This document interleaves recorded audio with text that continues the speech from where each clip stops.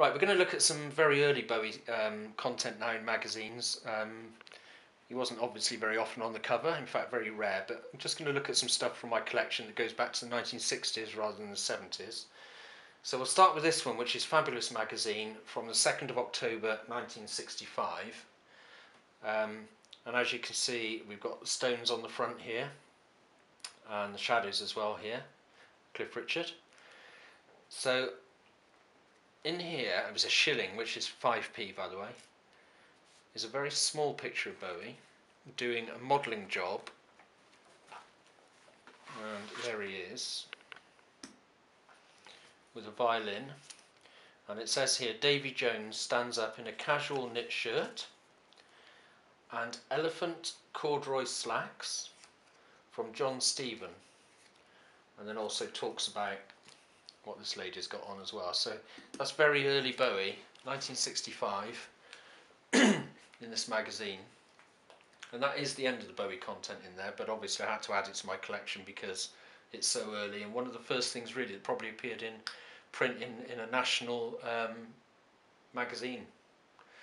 So the magazine does feature obviously this is the birds here, other bands, that's Michael Crawford, who's an actor. So that's the sort of content. And he got a tiny little space and obviously turned out to be bigger than any of these people. So that's the first one I wanted to show you. The next one is again Fabulous 208 and 5p again and Teen Power. This is the 30th of September 1967. Now this has got a bit more Bowie content. Nice picture of him there, and he happens to share a page with Twiggy, which is rather ironic. Um, and it's Bowie bowing to age, simply because he has just hit his 20th birthday here. Um, and it's just a bit about him, and it says David left school at 16, having passed his O levels, which I'm not sure about that. I think he only got a couple from my from memory, um, and three A levels. Well, he definitely didn't pass three A levels, so I don't quite know what happened there. So it's not a very accurate um, report there, um, or maybe Mr. Bowie's um, enlarging on things. Um, and they're talking about teen power, and he says there is no such thing as teen power. Um, and he hopes to go to Tibet studying Eastern philosophy. Um, I don't expect that I will have enough money to retire exactly, but money doesn't mean all that much to me. One thing's for sure, David may not be rich or at the top of the charts, but in one sense he has teen power. He thinks for himself, and that's and that is what all swinging teenagers are doing. So there you go. So that's an early one of Bowie again. Some small photos of him there as well. Moving on to the next one. Again, Fabulous 208, you seem to love him. I love this cover with that waistcoat. And this is the 29th of November 1969 and Outer Space, Out of Sight was Bowie. And despite having different coloured eyes and a hit with that way out number Space Oddity, David Bowie seems very normal. That's that one. And moving on to the next one. This is Fabulous 208 again. this is David and Ange enjoying um, their Sunday, uh, sorry, their Christmas dinner. This is 27th of December, 1969. Um, great cover that one. Don't see that around very often. It's probably quite expensive to buy these days if you can find it. The only content in there is this tiny piece at the, down the bottom here which says our cover nosh, which is here. And it says, if you hadn't already guessed, it's David Bowie tucking into the turkey on our cover. The lovely lady with him is his girlfriend Angela Barnett, and the whole festive feast was laid on especially for Fab, at Rules famous restaurant in Maiden Lane, just off the Strand in London's West End. So there we are, Fabulous 208, 27th of December 1969. And then we've got Rave magazine with Marianne Faithfull on the cover, and this is January, I think it was 1970 from memory. And really good article on Bowie in this one was talking about the fact that he doesn't seem to think he's very well adjusted and that he's felt that he spent too long philosophizing. and he's always been an old man rather than a teenager. Um, but great picture of Bowie there. Obviously the cigarette smoke coming out because he always had a cigarette, didn't he? And a bit more on the next page as well. It's basically a Q&A interview with him. So again, really nice magazine, quite rare again these days. And the next one is Princess Tina. I'm not going to go through all of these, but he did appear in a lot of girls' comics and magazines at the time. and Jackie was one of those. And this is January the 31st, 1970.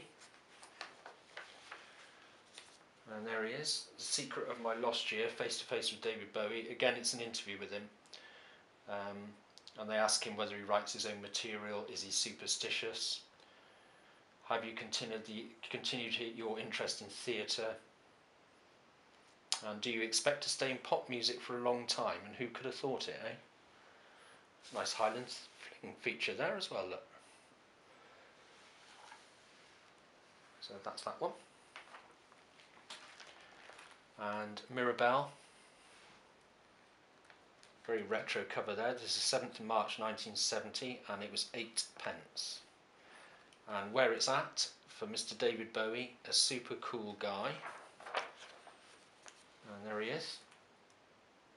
It's not exactly an interview, but um, he just tells us about his life, about his fans, about success, and about girls. So he says here, it's personality that appeals to me most. I couldn't care if she had protruding teeth and looked like Dracula, as long as I got on well with her, I wouldn't mind. Don't know whether that's true. Doesn't strike me that a man looks anything like that. So I think that was it on that one. Yeah, those two pages there. And Diana magazine. Um, well, it's hardly a magazine. It's more of a girls' comic, really. Now, Diana, Mag- uh, Diana comic featured him several times. Sometimes in a very um, small corner of the of, uh, of the comic, but quite often as well, and quite a decent feature. So this one is really lovely. Um, again, we included this in issue one of the fanzine, obviously on a much smaller scale. So what happened was that um, Diana magazine sent a photographer to Haddon Hall and took all these. And um, there's a small article here. Um, got him at home playing his guitar and the piano um, and some really original great photos on that one.